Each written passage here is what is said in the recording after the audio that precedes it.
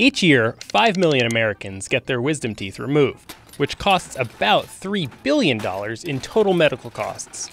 But for many, it's worth it, since leaving them in can cause serious problems, like gum infection, tooth decay, and even tumors. But wisdom teeth weren't always the unwelcome threat we see today.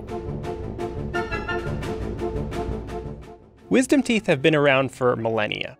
Our ancient ancestors used them the same way we use our other eight molars to grind up food, which was especially handy before the advent of cooking, around 7,000 years ago, back when our diet consisted of raw meat and plants that were fibrous and tough to chew.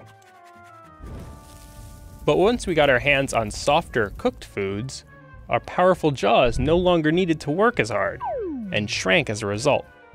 But here's the problem the genes that determine the size of our jaws are completely separate from the genes that determine how many teeth we grow.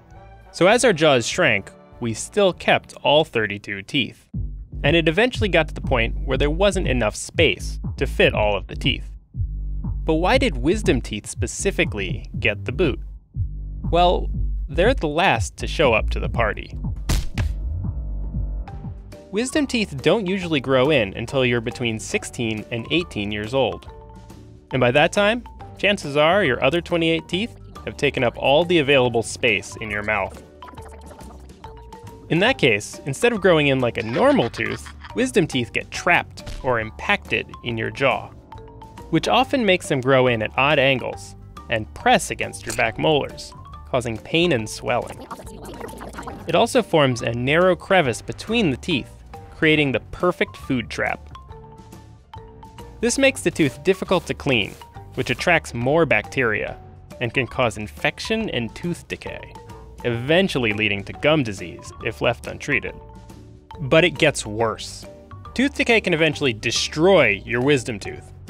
So, to save you and your teeth from such a horrible fate, dentists will often remove wisdom teeth before they go rogue. Seems reasonable, right? Well, it's actually a controversial topic among some in the dental community. The worry is that we're removing our wisdom teeth too frequently, often when it's unnecessary and the teeth pose no threat. Like if your mouth is big enough, or you're one of the 38% of people who don't develop all four wisdom teeth. In that case, risks from surgery, like infection and nerve damage, pose more danger than the teeth themselves. But the fact remains when wisdom teeth do become a problem, you'll curse the day we invented cooking.